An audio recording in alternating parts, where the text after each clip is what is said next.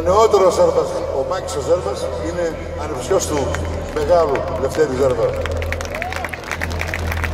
Όπου Ζέρβας και ταλέντο.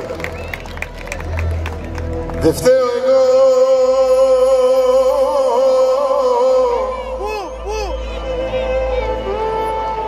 που δεν μπορώ ούτε στιγμή να αντισταθώ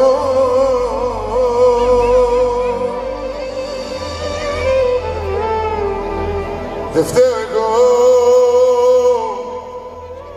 Που παρασυρώμαι συχνά και αγαπώ.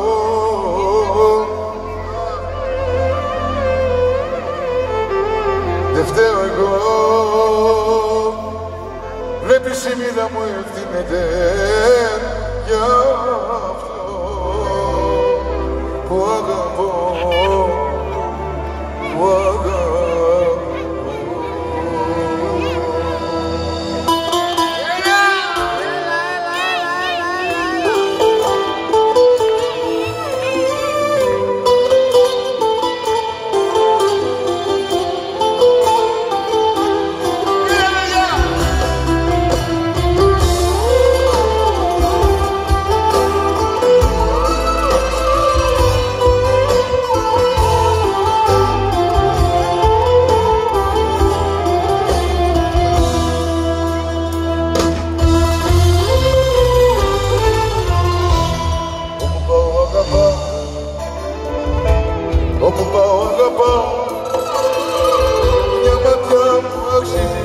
να ερωτεύω Έτσι κάνω καρδιά μου.